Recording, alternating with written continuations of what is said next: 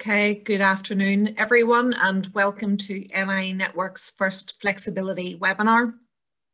I'm Adele Creary, I'm Head of Communication and Stakeholder Engagement and I'll be facilitating today's webinar as we talk about this really exciting project called Flex. And it's exciting because it has the potential to put downward pressure on all customers' bills, to uh, put revenues back into local communities and businesses, to minimise disruption and outages and to really support low carbon technologies and deliver faster network solutions. But we're very much a trial stage and as we develop our plans and as we shape the project, we'll do so very much based on the feedback that we receive from our customers and our stakeholders. And today is very much part of that.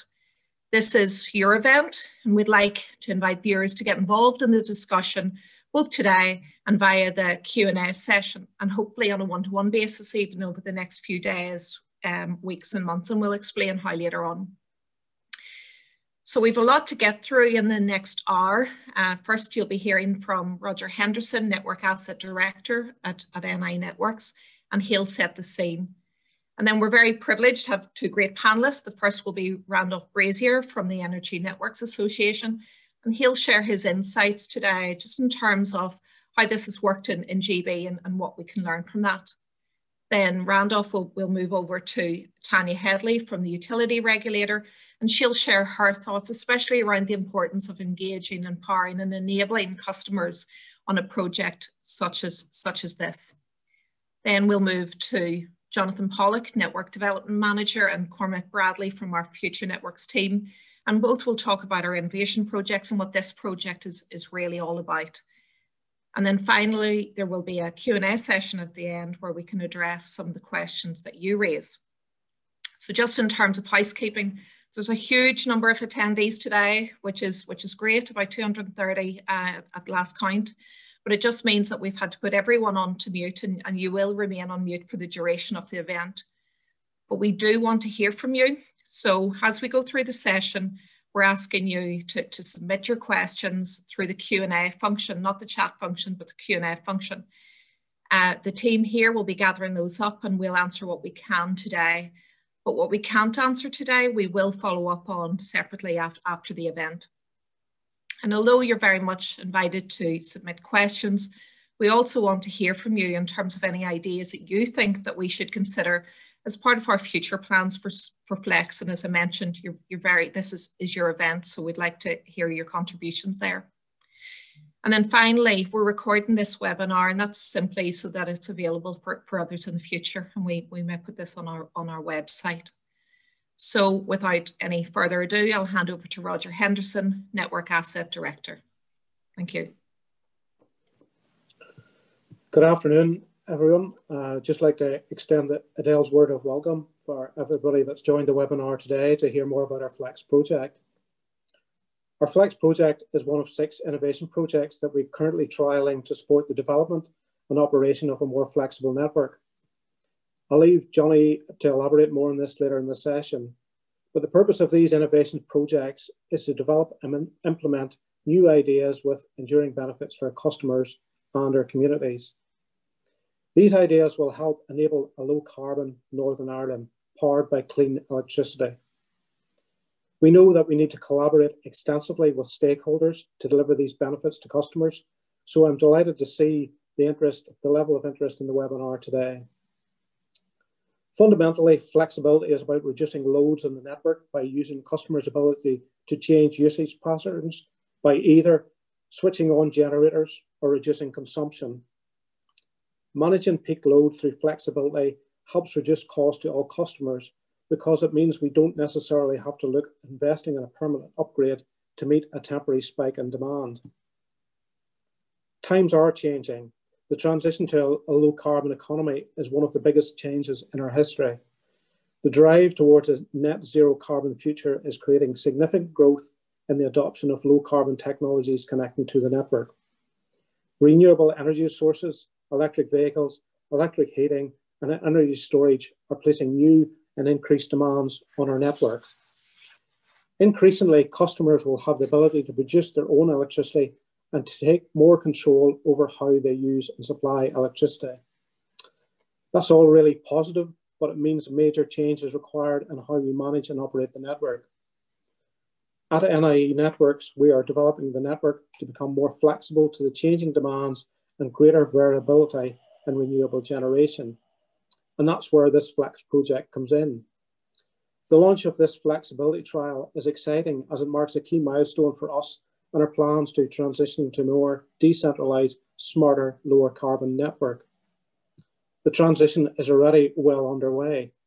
We've connected over 23,000 generators to the distribution network, with now 47% of electricity consumed being generated from renewable resources.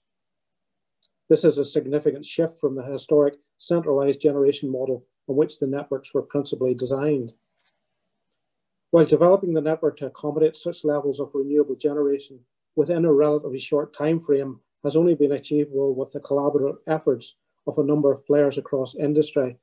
It's only a precursor to the pace of change that is to come. In December 2020, the Climate Change Committee announced in its sixth carbon budget in which they recommended that 60% of the necessary emission reductions by 2050 will be needed to be achieved by 2035. This comes in wake of the UK government's 10 point plan for a green industrial revolution, which includes its intention to ban the sale of petrol and diesel vehicles in 2030. While our own local strategic energy framework is currently under development, the context of these wider climate change ambitions signals the need to substantially decarbonise a number of sectors. This will have a significant impact on the way in which we design and operate our networks over the next decade. Our electricity network are fundamental to helping achieve our low carbon ambitions, and we need to be much more agile moving forward in terms of both the development and the operation of the network. If we are to meet these challenges, we need to be ahead of the curve, not behind it. I think there's one thing that most of us all can agree upon, and it's that the customer is an integral part of the energy transition. As our networks and energy systems continue to evolve, it is essential that we remove barriers to participation. We're keen to hear your views. What do we need to do to make Flex more accessible and understandable? Are there any further issues that we need to consider as we finalise our plans in this area? We appreciate there'll be a lot of new information presented today, but we'd welcome engagement during or indeed after this webinar. We've all a role to play to ensuring that the energy transition delivers enduring benefits to customers and communities. Today is a major step in that process. Thank you, Adele. Thanks, Roger. And we'll go straight over to Randolph Brazier. Randolph is the Director of Innovation and Electricity Systems at the Energy Network Association. Thanks, Randolph. Thanks, Adele. Thank you for the introduction and good afternoon, everyone. I hope you're well. My name's Randolph and I'm Director of Innovation at a company called the Energy Networks Association. And today I'm going to talk to you about our Open Networks project and flexibility markets in GB. So I think if someone could move to the first slide, please, that would be great. Fantastic, thank you. Um, so at the ENA, we represent all of the gas and electricity networks in the UK and Ireland at both transmission and distribution, and that includes NIE networks. So you can see in red at the top there, you've got our electricity members, and then in yellow at the bottom there, you've got our gas members. So I think you heard from Roger some of the challenges that we're facing Uh, at the moment in across across the whole of the UK. And I think one stat for me really brings that out, and that is the fact that across the UK now we've got over 30 gigawatts of distributed generation connected to those DNO networks. And the amount of other distributed energy resources that are being connected is rising rapidly. So we've got things like a lot of heat pumps being connected, a lot of battery storage, and also electric vehicles, um, particularly the, up, the uptake rate is really high on these. So this means the grid, the, the nature of the grid is changing significantly. If we could move on, please. Thank you. So to address these challenges, we set up a project across all of our electricity members um, in, in the UK and Ireland called the Open Networks Project. And this project is effectively, you can think of it as effectively the strategy for delivering the smart grid across our networks. And as Adele indicated in her introduction, the, the aim effectively of, of delivering the smart grid and um, pr promoting and using flexibility is to help reduce bills for customers and also help customers with flexible resources realize new value, new revenue streams. So in GB, this project is a, a key um, a key part of our regulator's smart grid policy, and it also has sign-on from BEIS, the uh, energy department. But the project is very much not a theoretical project. We're taking a learn by doing approach.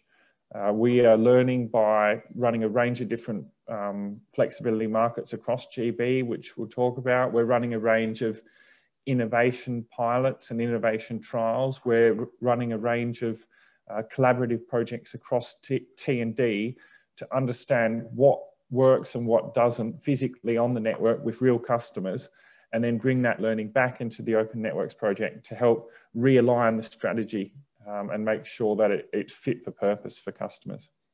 Uh, next slide, please. Thank you very much. So as I said, we've got 30 gigawatts of DER connected. Around 85% of that is renewables, uh, mainly uh, solar and wind. But more and more of that DER is becoming flexible, uh, which we believe is critical to achieving net zero. So what do I mean by flexible? Well, it effectively means the ability to control or schedule your demand or your generation and this can really help networks both at a national level from a, from a frequency perspective, from helping balance the network, but also from a local level in terms of relieving congestion. So in GB, all of our networks have signed up to the flexibility commitment, which is effectively where they're committing, where there's congestion in the network, the networks have committed to procuring flexibility from customers ahead of reinforcement if it's cost effective. So if it's effectively cheaper than that reinforcement. And they've committed to do that for all significant congestion in the networks going forward. Um, that means uh, at all voltages as well. So we're procuring flexibility right down to LV now. You know, individual blocks in London are going out to tender. If we could move on, please. Thank you. So what are the six steps? I'm not going to go through each of them in detail, but effectively they represent the customer journey. They represent the steps that a customer would take to understanding what flexibility is, seeing where the needs are, and then providing it. So we, we have things like common products that we're procuring. We have common ways of making those products visible so that people can see what we need and where we are standardizing the procurements and dispatch uh, arrangements and methodologies for how we use that. So we've got a common evaluation methodology now where we compare the costs of flexibility versus traditional reinforcement. We've got a single flexibility contract for all of the six GB DNOs, and we'll be extending that contract to the ESO going forward. So there'll be one flexibility contract. Uh, we're looking at common ways to dispatch those services and, and then settle it ultimately as well.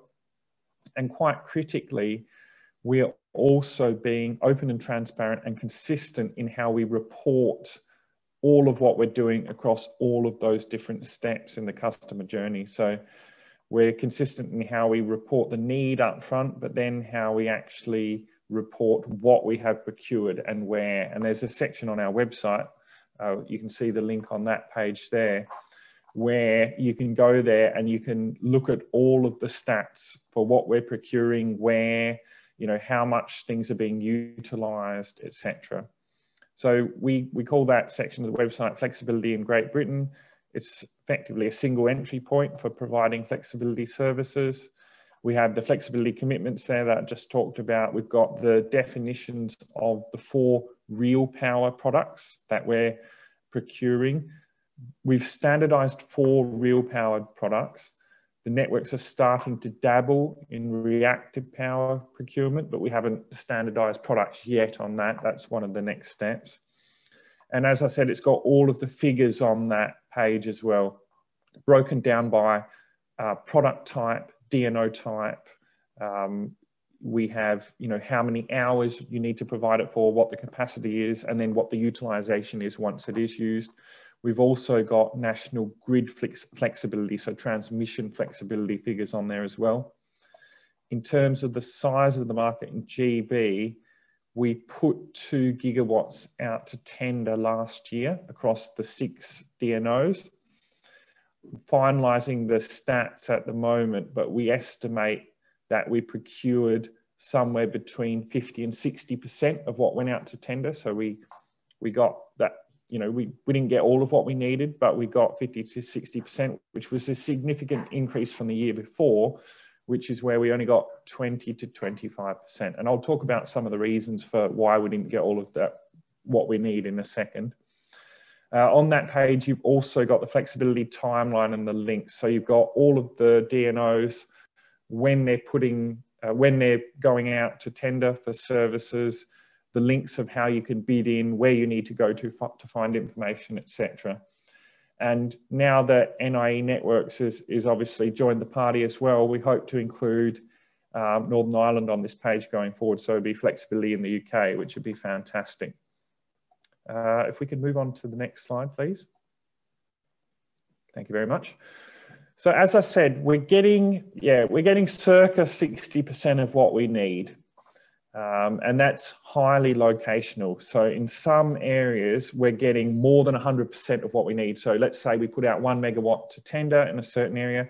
In some areas, we're getting more than a megawatt of bids back from various different flexibility resources, which is great. However, in other areas, we're getting nothing. We're literally going out to tender and we're not getting any any interest back, or, or we're getting a bit of interest, but no one really ready to provide the service. So we, we really need to increase liquidity in these local flexibility markets. And there's, an, there's a range of different ways that we can increase the liquidity. It is highly locational and you know in some areas there's just no flexible resources. You can't do too much about that at this stage. However, we are looking at making the products common. So as I said, we've got common real power products now and we'll hopefully have common reactive power products in the future. We're getting better at making um, the need, the, the flexibility need easier, making it easier to access, easier to understand, better user interfaces, etc. As I said, we've standardized the contract terms now for the DNOs. We're removing as much exclusivity as possible on the services so that people can stack services across different markets and it doesn't preclude them from playing in other markets because at the end of the day, if you're talking about an LV flex market, the value is not going to be that high. So to make the business case work for the flexibility asset, the investor or the operator needs to participate in multiple different markets, including obviously tra trading in the wholesale market. Consistent reporting and monitoring, I think I mentioned. Lowering barriers to entry. So we're trying not to be sizist, for example. Um, we're letting, you know, the other day we broke the record, or I think it was a few months ago now, but we broke the record in terms of the smallest asset that we procured a service from. It was 600 watts. So that's tiny. It's like a, like a small battery, basically, computer battery or something like that. We are better coordinating with the TSO, as I said, and wider energy markets. We're also trying to unlock residential flexibility of the of the sort of circa 1.2 gigawatts that we contracted last year, the vast majority is from industrial and commercial customers. Not much at all is from residential uh, properties. Uh, but obviously, stakeholder engagement and market coordination is critical. Just teaching people about these markets, getting them to better understand what they are, how they work, what the value is, how they can participate, etc., is absolutely critical. And that's why we do sessions like this with our stakeholders to try and get people to understand what we're doing and understand that this is a new revenue stream that they can stack on top of their business model. And it may help you get a project over the line. It, it may help it get, get promoted and get connected. So I think that was all I was going to say today. I'll be joining the Q&A session later. Um, so look forward to your questions. Thank you very much for listening. Thank you very much, Randolph. That was really interesting. It's particularly the fact that there's there seems to be a disparity between the various areas in terms of take up. And as you say, it's very exciting that Northern Ireland is now joining the party. So, um, but clearly that will have a big impact on, on consumers. So um, at this point, I'll hand over to Tanya from the Tanya Headley from the utility regulator to give us her views. Okay, well, thank you to NI Networks and thank you, Adele, for the opportunity to speak at the launch of this very exciting initiative. I have to say I'm quite glad that Randolph put a few links in there. I'm going to we look through that myself later. I'm going to also talk briefly on the value of initiatives like this to address the challenges we're facing and how important it is that we ensure energy consumers are at the centre of this work by engaging, enabling and empowering them. Firstly, some important context. I'm sure many of you are aware of the work the Department of Economy is currently undertaking to set policy for energy in Northern Ireland in line with net zero for 2050. The utility regulator are working closely with them on this. However, we're not waiting for the final policy. We want to do everything possible to allow Northern Ireland to meet the challenges that has been set, all in line with our duties set by government. There is no doubt investment will be needed to reach our net zero target. As bills increase, consumers need to see the value for them and have ownership of this net zero ambition we're all here because consumers want and pay for electricity. They should be the ultimate beneficiary of the zero carbon future. The pace of change of getting to net zero means that regulation has to keep up, facilitate and enable this change while always being mindful of protecting the interests of consumers. The energy transition needs to be consumer centric. It needs to be more than just words. It needs new energy consumer frameworks and protections for consumers in place. Trust in regulation and the energy transition is essential.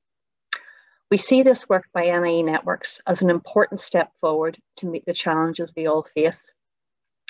Many of the companies we regulate will need to adopt a much more open and innovative mindset in thinking about supporting new technologies in a way that benefits consumers.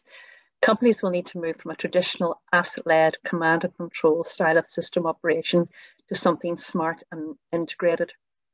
Our message is not simply about working together to build and support asset development and continuing to operate the system in a conventional manner. We need initiatives, initiatives like this one, which will be a useful vehicle for improving coordination across network and system operators and for delivering change as part of energy transition. It is a step change in efforts to open up the delivery of distribution network requirements to the market. It enables whole system requirements to be identified and acted upon efficiently in the best interests of consumers. And we're pleased that NI Networks and ENA have taken a proactive approach to delivering progress in this area. This innovation is needed in a time of change. As a regulator, we recognise that the energy revolution will bring forward new approaches, harnessing the power of cutting edge and disruptive technologies that will change everything, and we're up for this. We want to be the enabler of this change. We also accept the pace of change is accelerating, while we recognise that technology may sometimes outpace things, we hope to apply the necessary flexibility where there's a clear need and a clear value proposition to bring to the table. Our aim is to facilitate Northern Ireland consumers' transition to a low carbon future and to facilitate, facilitate a whole range of new smart energy technologies. I would ask you to also recognise that as regulators, we must maintain, remain within our vires. We need to follow the UR legislative role and it's worth noting that other regulators have had duties updated to align with government ambition. When it comes to costs, it's consumers who are paying, and we need to see the value and what can be delivered for them. Evidence of value and transparency is essential. The culture of we know better is not acceptable. Affordability also needs to be considered. We want high quality service. We want an open, flexible, and collaborative approach to consideration of new ideas and technologies that could have the potential to support the energy transition process. And I accept there are no easy answers to this. The aim is to reduce costs to consumers by the system operators contracting for flexible services alongside investment in innovative network solutions. This will help deliver the overall lowest whole system energy costs. As a regulator, we're focused on what is needed for future networks. This is a part and parcel of our corporate strategy. We are engaged with DFE as they develop strategy. We're taking a path of least regrets on current price controls with flexibility for the future.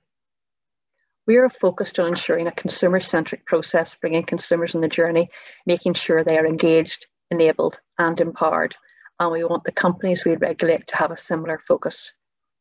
Net zero is something we want to work to together to deliver. As a regulator, we intend to support good outcomes for consumers during the energy transition and build on the existing regulatory framework to support work of this nature during a time of change.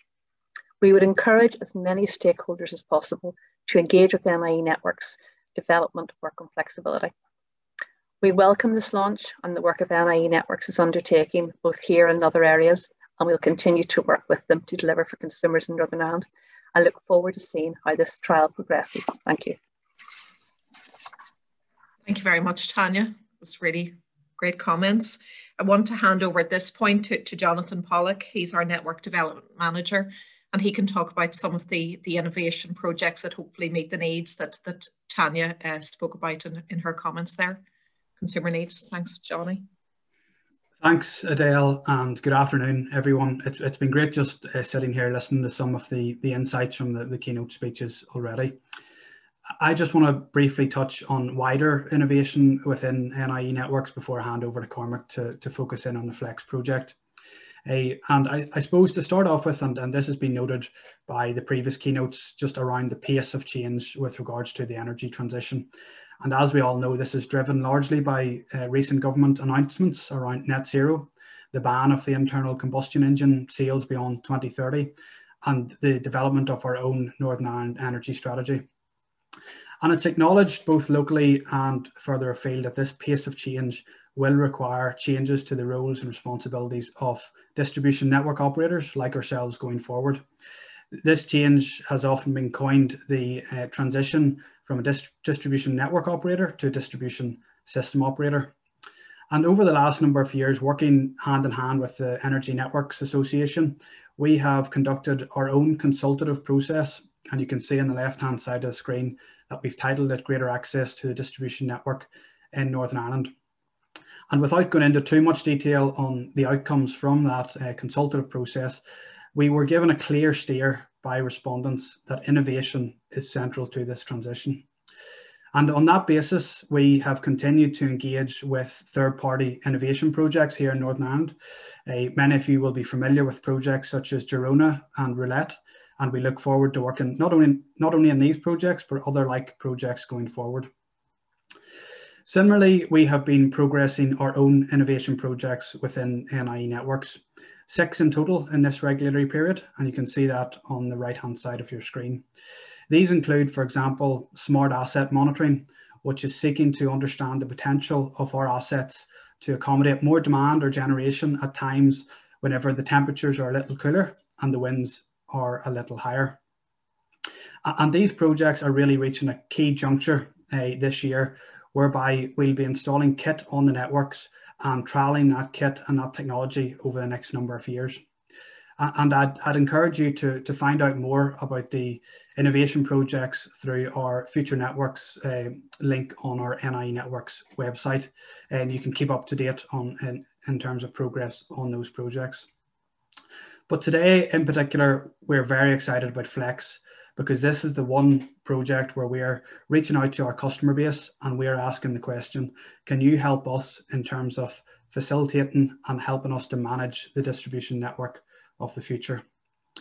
So at this point, I'll hand over to Cormac Bradley. Cormac is the Future Networks engineer responsible for delivering Flex.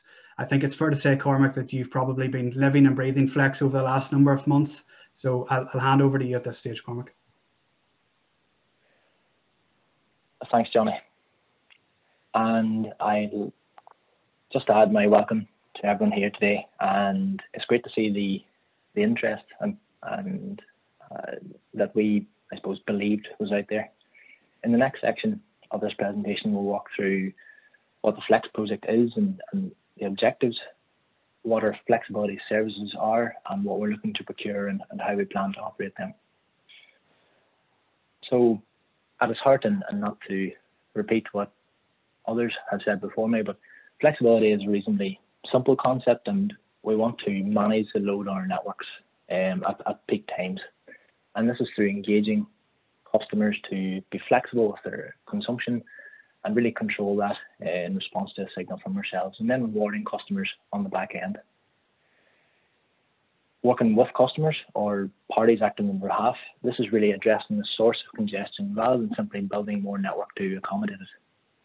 And at the heart of this is our customers, where they will all benefit through downward pressure on customer bills, as well as direct payments to participants and a series of supplementary benefits. Our Flex project itself has a central goal of understanding if flexibility is available out on the ground, and we believe it is. And then with that, developing the technical and commercial structures to use it effectively. Importantly, we recognise that this is new ground for NI networks as, as an organisation, and so we must evolve and develop the internal processes to source and then use flexibility. All that we've done to date through this project has been guided by the principles on the screen making opportunities visible and accessible, creating processes that are simple and streamlined, creating a fair and level playing field for customers and technologies, and doing all of that in as open and transparent a way as possible. The first principle of visibility has guided us to use a platform like Piclo to publish our zones and requirements in a, a in an accessible manner for, for any member of the public to view. It's also why at the end of last week we published our flexibility product specification on our website and one of the key reasons why we're speaking to you today.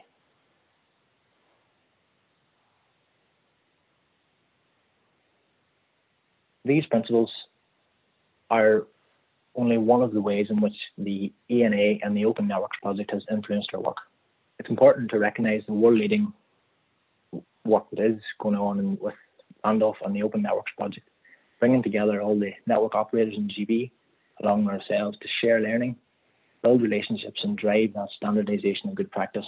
And I think it's fair to say that without that, we wouldn't be have been able to make the swift progress that we have and ultimately offer the customers in Northern Ireland the same opportunities and to experience the similar benefits to those in, GB.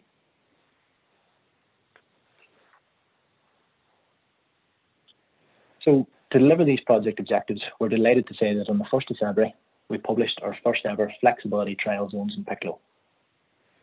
17 zones in total that cover a geographic area that supplies almost 15% of all customers in Northern Ireland. Within those zones, we're seeking to procure just over 40 megawatts of active power or real power services, and this, these range between 1 and 10 megawatts in the zones and represents 35 gigawatt hours of either availability or utilization opportunities. We're looking for three different flexibility products, and that's to ensure a broad and comprehensive trial and data set that we can analyze and build from in the future. And I'll talk about those products in the next couple of slides. Finally, we're making up to just over half a million pounds available for participants as part of this trial, all in a bid to open up local flexibility markets here in Northern Ireland. We've designed three separate flexibility products, and you'll find there's one per zone. And they've been designed very closely to align with the Open Networks projects and, and those in GB. The first on the left hand side is Sustain, and this is a product where providers will be given a pre agreed delivery schedule from the outset and expected to deliver this without any further instruction from NIE. All delivery will be guaranteed, and so it provides a high degree of certainty for both the providers and NI networks in the network. Our second is a secure product, and it's a pre-fault product that, namely, acts to secure the network ahead of any potential congestion. And this comes with at least 24 hours notice for providers based on network forecasting capabilities that we're developing. This notice offers a number of benefits, including allowing to provide providers time to react and adapt to these instructions, and if there are market participants, to tweak any of their positions that they might hold. Finally, our dynamic product is our post-fault product, where if we were to experience a fault in the distribution network, we look for a rapid response for providers, expecting flexibility to begin to be delivered within three minutes. As with secure and dynamic, their use is driven by network conditions they do have a degree of uncertainty about their activation, and accordingly, we have a component of availability in their commercial structure.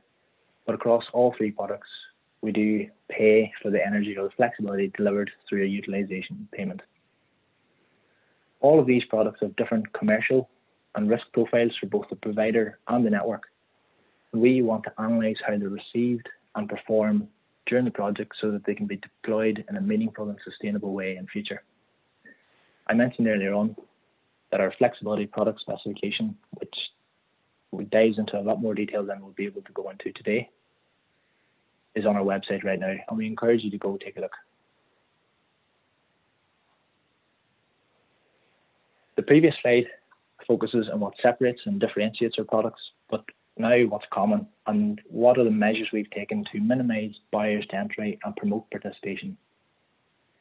All of our products have the same low minimum bid size of 50 kilowatts, and this is an aggregate value, meaning that it can be comprised of assets of effectively any size.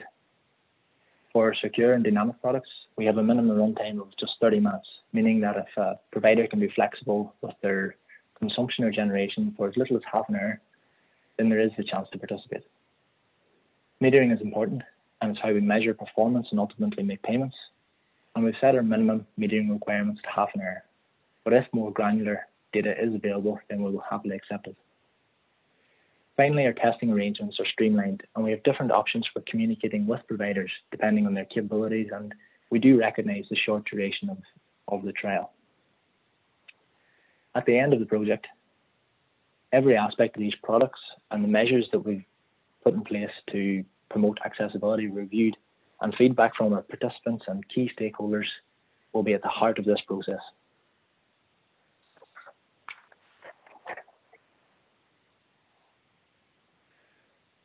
Some useful trial particulars are that the contract will initially be for a year, and within that there will be a six-month service period, with all bar one of the zones beginning in October of this year. While tailored to meet NI network specific needs, we have adopted the ENA's common contract that Randolph mentioned earlier, and it was a key output from the Open Networks programme in 2020, keeping us in line with our GB counterparts. As many on on this webinar will already have observed on Piclo, we define service windows on a daily basis. And outside of those windows, there's no obligation on providers. This approach of only procuring services for a portion of the day is efficient and it reflects the typical network conditions where peaks are reasonably predictable and occur within certain windows during daily life. It's also important that we note that the flexible capacity bid in by providers is committed for the, the service period the, the contract period, and we're not operating a mechanism to readily declare availability. The next thing that we thought we'd take a look at is how we value flexibility, but I've no doubt that this will evolve over time. Simply put, the value of flexibility can be seen in the value of deferring network investment. So by way of an example, if we were to defer, if the value of deferring an investment was say £10. And after a tender exercise, the cost of flexibility for that year was £5. Then at a basic level, it's cost effective to use flexibility and the savings will be shared back with the wider customer base. However, obviously flexibility is more cost more costly for the total number of megawatts and megawatt hours we're looking for, then it makes more sense to invest in network, so we would not contract flexibility services. In this way, flexibility has an intrinsic price ceiling that above which it is more economic to invest in the network. And so for us, it's not a case of flexibility at all costs, but flexibility where cost efficient. Turning our attention to our tender now that the, the published zones are the first step of, it is a very traditional approach. And right now we've published our zones and requirements in Piclo, and we're inviting flexibility providers to register their assets before the 5th of March now is the time to register your assets and please do not wait for the last minute. And rather than providers trying to verify where the location of their assets are, please allow ourselves and Piclo to do this. There's no commitment at this stage and it will avoid anyone missing out on any opportunities. We'll then be progressing through a qualification where we vet organisations for technical and commercial compliance and then into a competitive tender. We'll also have to verify the capability of providers, their capability to deliver the services ahead of when we expect to commence in October this year. Now, I would note that these dates are all indicative at the moment and they are subject to change, but they should give a feel for the pathway ahead. And of course, if there are any changes, we'll notify. One element of flexibility that has rightly so relieved, received a lot of questions is our interaction with other markets and revenue streams, such as the wholesale energy market. And before we say anything else, flexibility services are open to absolutely everyone. You do not need to be a market participant or a balance responsible party. And if you are one of those, you're not constrained to your registered asset portfolio. In terms of our interactions with other markets, we're keen to see providers spec the value of their assets. And as part of the trial, we want to understand and analyze any conflicts and where they might exist, where they are material, material, and where they are sometimes just simply perceived. In order to understand this, you won't find any exclusivity clauses in our contracts. Fundamentally, providers are responsible for managing all their own commercial obligations. Through close stakeholder engagement, this approach has been really welcome, and pathways to avoid any conflicts and spec revenues have already been identified. In many cases, it's as simple as ensuring that you're generating at the right time in the right place. Throughout this project, we've working with our colleagues in TSO through our agreed work program, and we're both sharing the learnings and findings for any future development of flexibility services to ensure that they are a sustainable proposition. As a penultimate slide, performance and settlement is relatively straightforward. As I mentioned earlier, our tender exercise will be competitive and will be inviting bid prices for utilisation and for the secure and dynamic products a bid for availability. And successful tenders will be paid as they bid. We'll be calculating a baseline for every asset from meter data provided from the previous 12 month period, and this will be used as a benchmark by which we measure performance. Payment itself is straightforward and made up of the components of utilization and availability as necessary. Utilization being for the energy delivered to the network or indeed not consumed, and availability for reserving the capacity or availability for any networks to use. And there will be performance scalers applied to both to promote conformance with NI networks instructions.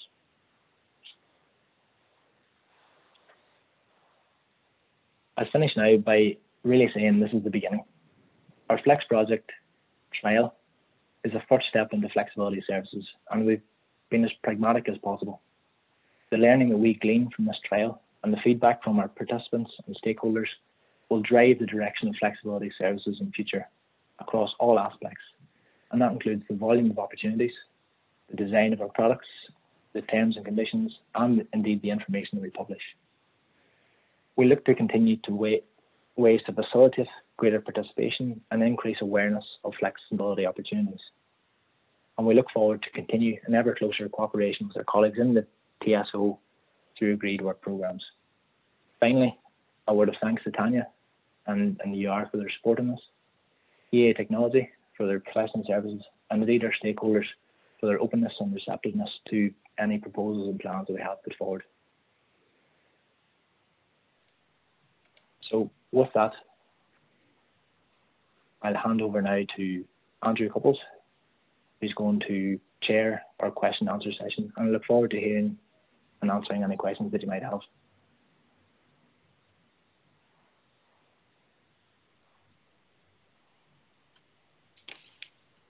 Okay, thanks, Cormac. Um, yeah, there's a number of questions coming in, so um, I'll try and um, divvy them out between the various different members of the panel here and try and get through as many as possible in the, in the time we have left here. Um, so I suppose I'll maybe kick off um, um, probably back to Cormac on this one, just, um, just for clarification. Um, can sites apply directly to participate in Flex without having to operate via existing aggregators? Um, you maybe take that, Cormac, and also just then uh, related to that, how do participants um, see, how do they find out whether they're in one of these trial zones and, and how do they go about registering them? Okay, so in terms of a, a site that's um, is potentially in contract with a, uh, another third party for its operation, um, we would obviously advise that anything you do does not breach those contracts. So certainly uh, contacting the aggregator, um, but that would really be a, I suppose, a participant decision to make. In terms of the knowing if whether you're in a zone or not, effectively that's what we're one of the benefits of using Piclo platform, and they will provide a geographic uh, verification. Then, whenever that information is passed through to NI networks, we will provide a final call based on the location of the asset's meter point reference number in respect to the network. And that will be done at the pre-qualification stage. So obviously only assets that can provide flexibility services will make it through to the competitive tender. Just on that point as well, and uh, this was a message through from Piclo that they have noted that there's a large number of new providers registered from Northern Ireland, and they are planning a, a provider webinar in the coming weeks. So I'd recommend keeping an eye out for that. Okay, um, thanks, Cormac. Um, there's one here, um, maybe for Randolph around is would we have an indication of the total market value of the flexible market um, up to the end of 2020? And I suppose that's across GB. Um, and maybe a wider question than that for maybe for yourself, Randolph, and maybe if Tanya wants to come in around, you know, what's the longer term outlook for flexibility? And it's, it's maybe about a crystal ball, but, you know, out to 2030, 2050 type timescales. Yeah, so it's a good question by whoever asked that. So I think the first thing to note is that the, the value is highly locational. As you can imagine, the cost of a constraint in central London is very different to that of a constraint in a low density rural area, for example. So the values vary quite significantly geographically. Similarly, the value varies greatly across voltages, as, as you can imagine, uh, and also the different services themselves. Um, the, the four real power products we have and the reactive power that we're starting to um, dabble with, the, the, values do vary across those. Um, so it's difficult to add up the values and also using the historical figures, we didn't have a common valuation methodology previously. Um, so hence adding them up doesn't make a lot of sense because the methodology for valuing the flexibility wasn't common across the networks. However, it is something that we'll look at going forward. So I'll be able to provide maybe one figure in the future. However, I'm not going to just leave you hanging. I'll give you some averages, which might be quite useful. So um, as, as Cormac said, you've got typically, not for all services, but for most of the four services, you've got an availability fee and a utilization fee. So availability fee is just when you're ready at any point in time, but not necessarily um, dispatching. The value for that that we've seen on average, it's circa five to 10 pounds a megawatt hour, somewhere in that range, roughly. Uh, and then for utilization, so this is when you're actually called on to turn up or turn down. Again, this is very much an average value, but the kind of average value that we're seeing is around about 300 pounds a megawatt hour. Um, so that is that is significantly larger than the wholesale energy market, but obviously the volumes uh, are less. But it but it is it is a decent it is a decent chunk basically. So to answer your second question then, Andrew, on what's the future, um, we very much see these markets as increasing in size. Um, in, in GB, I'm not so sure about NI, but in GB, the distribution networks are designed roughly on average, assuming that every household is one to two kilowatts. That's our average design assumption. Or it has been historically. Um, so, you know, you can imagine if you're putting in a seven kilowatt EV charger in each house and potentially electrifying heat because 87% of people in GB have gas, um, you know, and a, a heat pump could be anywhere from two or three kilowatts up to 15, depending on the size and, and quality of your house you can see that there's going to be a lot of congestion potentially in the networks and hence a lot of a need for flexibility going forward. so that we can keep the costs down. So I, I see it as significantly growing going forward.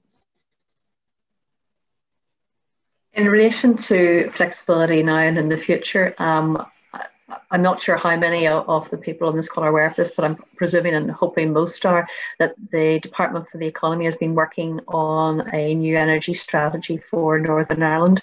Um, they had a call for evidence and received quite a substantial number of responses, I think somewhere around 160. Their current plan is to uh, consult on a proposed energy strategy by the end of March and have a new strategy in place for the end of the year. And obviously, we're working on them with that. But uh, irrespective of their strategy and, and the form that takes, it's very clear that flexibility is, is a necessity for us going forward uh, in terms of delivering energy transition and net zero carbon. So these sort of initiatives that NIE and NEA are done are essential. We, we can't wait until the policy is formed. We know this will add value and we're very keen that this does progress and, and crystallizes into something that can be used in the future for delivering both for uh, consumers and for the industry. Thanks, folks. Um, there's a question there. It came in slightly earlier on around innovation trials, and Randolph talked about what was happening in GB and what was happening in NI. I think Johnny covered covered that off. But um, you know, if you go to our website, the Future Network section of our website, there'll, there'll be some more detail around that.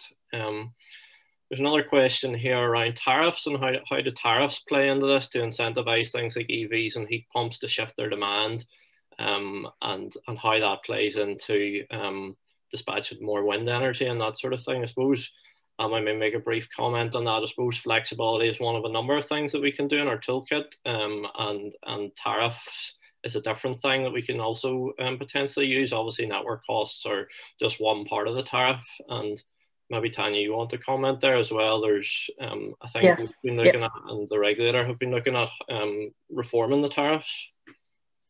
Uh, we, we are starting work on a review of the uh, network tariffs and, and how they need to be developed going forward. It's clear that it's important that uh, people are paying the appropriate cost and we are aware that there are um, people now who are connected to the network. And if the tariff is based around um, your usage and not the capacity that you're holding, there is an element are you paying the appropriate amount? So there's a, a, quite a significant piece of work that needs to happen there. But you're, you're right, Andrew. It's not an NIE issue. It's a energy industry issue. Uh, suppliers are the people who ultimately um, structure the tariffs that they're offering to consumers, and this needs to be something that the regulator takes forward and is intended to take forward. But it'll be helpful that we have energy policy in place uh, to, to assist that in terms of forming a, a, direction of travel for policy that we can we can then um, take on board and move forward with. Thanks, Tanya. Um, a couple of questions here around um, domestic customers and, and um, how they can participate using the likes of domestic solar PV and and battery storage. Um, maybe Johnny or Cormac wants to come in there, and maybe then maybe Randolph could give us a bit of a view as to where GB is with that as well. Yeah, thanks, Andrew. I, I can come in here and I'll just really pick up on on some of the points that you know uh, Cormac had made during his presentation in terms of the 50 kilowatt size, uh, and that's the aggregate size. So you know, we, we've tried to be as open and transparent uh, and remove as many blockers as possible to all customers participating in this. So a domestic customer who uh, meets our technical criteria can very much play within this market as part of an aggregate portfolio, as long as that aggregate portfolio is 50 kilowatts or more. So, I mean, sort of anecdotally, we, we have had some conversations and it appears like there will be some movement in this space, which is very encouraging.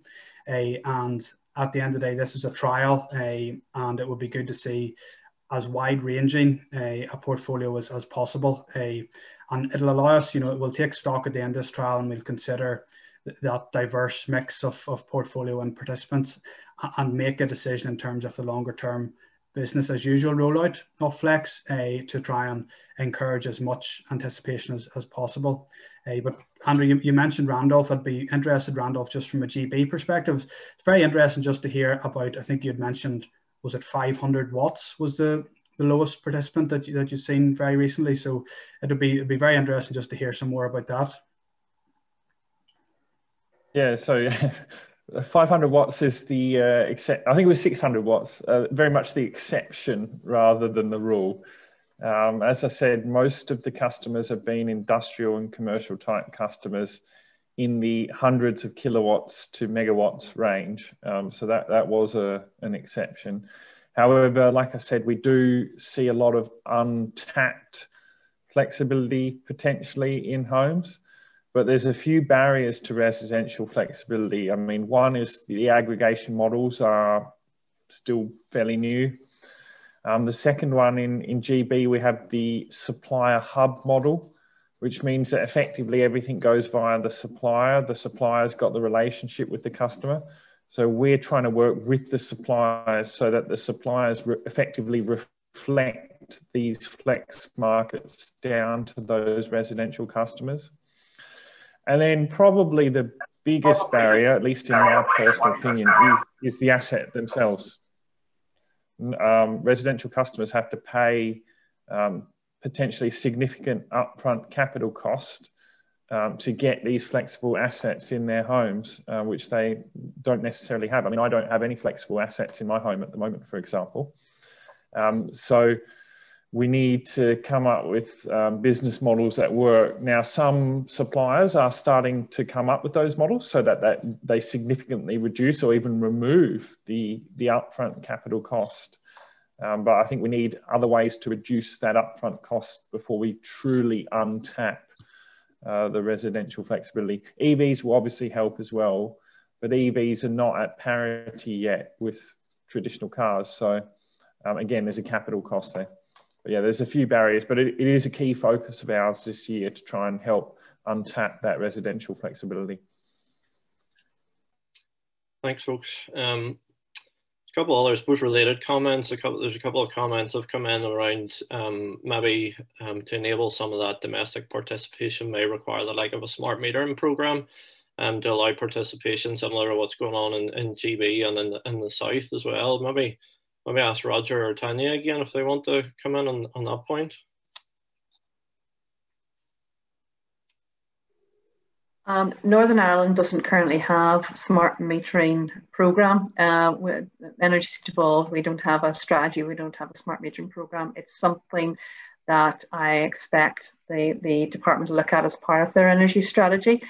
We do have metering that allows for gathering half-hour data, and that also can be enabled to allow uh, remote access to that information. So there are ways to uh, deliver uh, the flexibility and consumers to engage uh, within the technologies we currently have without the rollout of a full smart metering program.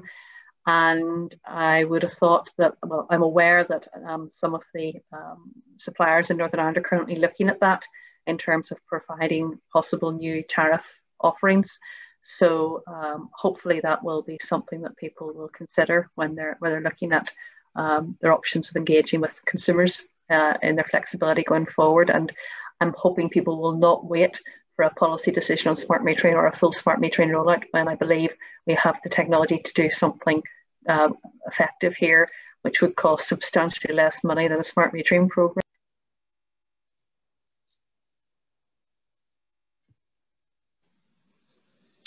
Yeah, so uh, Andrew, in terms of the, the, the, program, it'll, it'll not inhibit participation at, at this stage, but you know, um, certainly, you know, in terms of the more visibility with time that customers have in terms of data, I think look, it, it, it means for, for for better engagement down the line as such. So um, certainly, you know, maybe the key question here is look, it'll it'll not inhibit participation at this point. Yeah, yeah, I think that's that's the key point um, on that. Um, yeah, there's lots there's lots of questions here. Some are in relation, you know, the technical details around the timescales of the products and the number of events. Um, I think Cormac touched on some of that, and you know, the, the website address is there. There's a lot more detail on our website, um, and we will also follow up um, all these questions to make sure they're all answered um, after the event. Um, I suppose just to pick out, there's a couple here, probably back to Cormac in terms of how this differs from existing DSU and DS3 and the capacity market um, and that sort of thing and how you know the interaction with the energy markets. I think you touched on that briefly. Yeah, thanks, Andrew. I suppose that the first differentiation is the use case. So the capacity market has its function for ensuring supply adequacy for the the country. Uh, demand side units is a is an energy market concept, um, and then this is obviously to resolve distribution network congestion and the funding streams that are available for the various uh, revenue streams there are, are, different as well. But, but fundamentally, um, on a technical level, increasing generation or, or decreasing demand is the same uh, net outcome for the network. And that's, part of the reason, you know, why we do feel that they are stackable.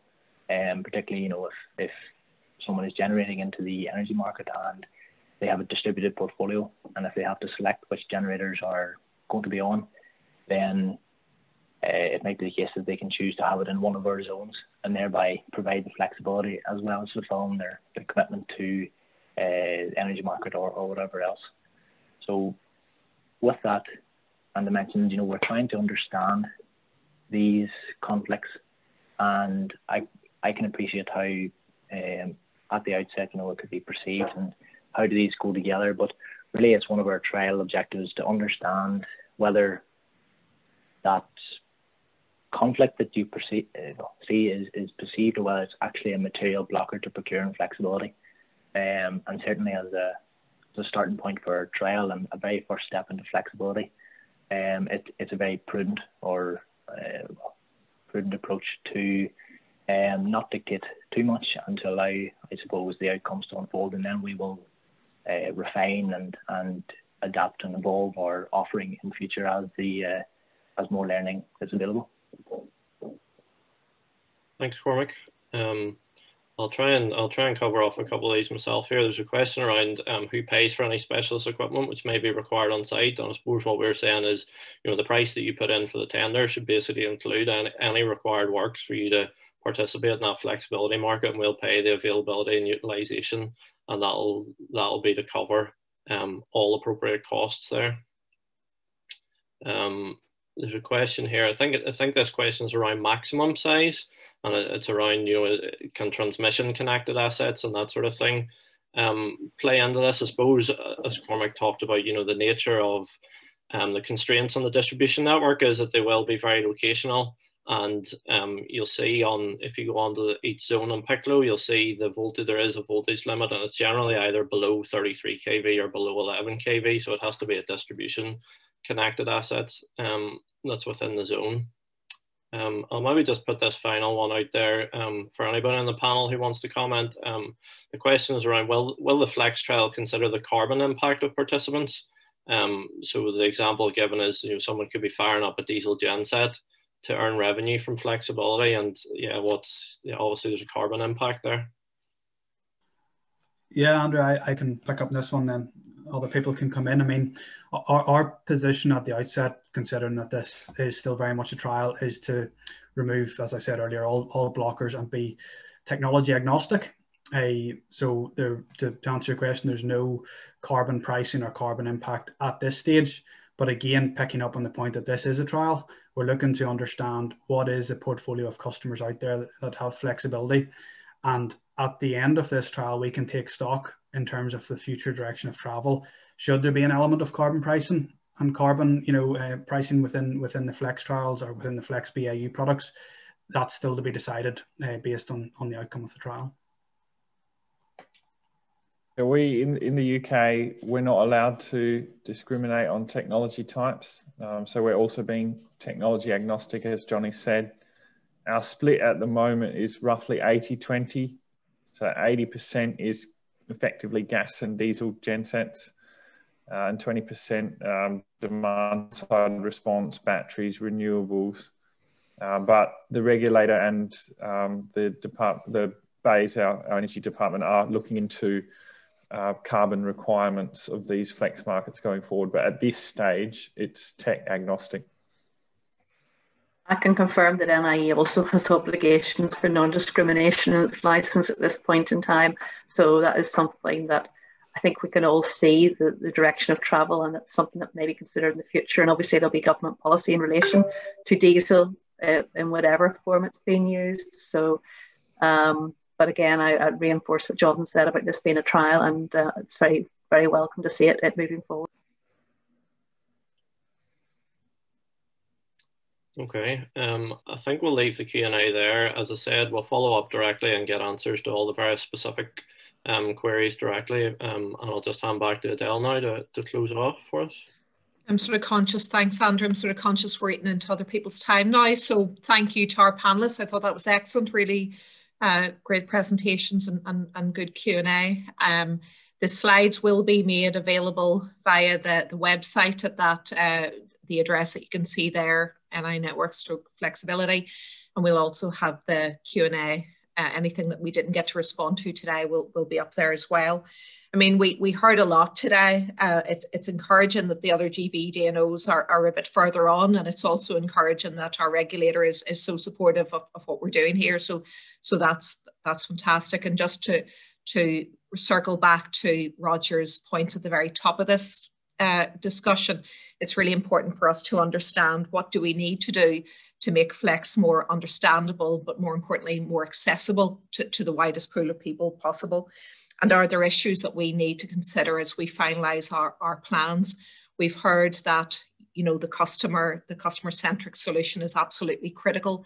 But as we design our plans, we need to keep our, you know, the customer in the room and, and hearing from our stakeholders and, and from you as, as, consumers as well. All of that can, can only help.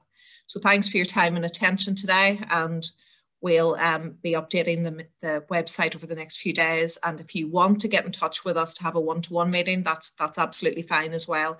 Use that flexibility at nienetworks.co.uk address and, and someone will be in touch to make arrangements. Have good afternoon, everyone. Bye.